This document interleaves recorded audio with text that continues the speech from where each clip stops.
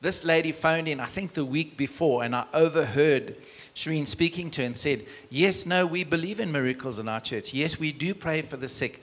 Yes, uh, but this Sunday we're having a pool meeting. Why don't you come and bring your grandson? So here it is. She was not able to bring the grandson, but here it is. Are you, are you listening? Let's just pray. oh, no, here it is. My grandson, Luke 3, was diagnosed with muscular dystrophy. Medically speaking, there's no cure for this as their muscles break down. The breaking down of the muscles are normal, but instead of being replaced with more muscle tissue, it's replaced with fibrous tissue instead of new muscle tissue. As this disease, disease progresses, their muscles weaken so that by the age of 12 on average, they're in wheelchairs and may be able to walk with calipers and or crutches. And um, death is early, um, like in the early 20s. That's muscular dystrophy. You prophesied and said words to the effect of, people said you were going to die, and that's not true. You are not going to die. I took this to be directly for Luke, and so did Harold, my husband. I am happy to report.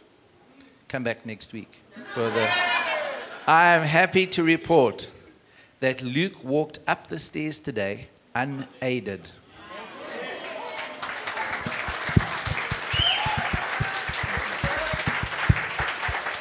Using alternate legs instead of holding onto the wall or someone's hand and leading with the left foot up always, as this was his stronger leg. He used alternate legs.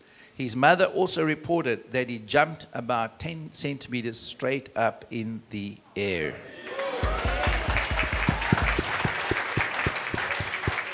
God's word is so true, and he's true to his word.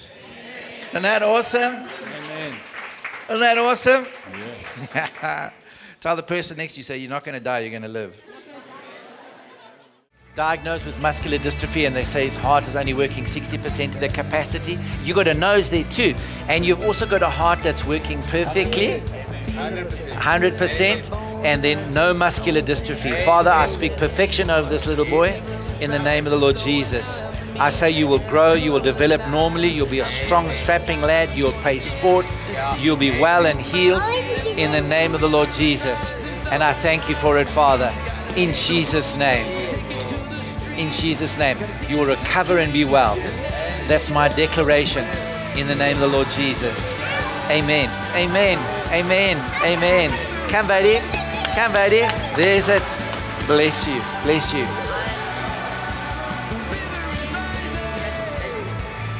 That thing goes. In the name of Lord Jesus. Not the whole pinky, Father, just that little thing there. Amen. Father, and just the joint pain. Lord, let it just go right now. In the name of the Lord Jesus. Father, I want to thank you. And God says, Your heart of compassion is what I've been looking for. And God says, You will touch and heal the sick as you have desired. It's something that that is uh, like a high priority for you. And so the Lord says, That's the kingdom.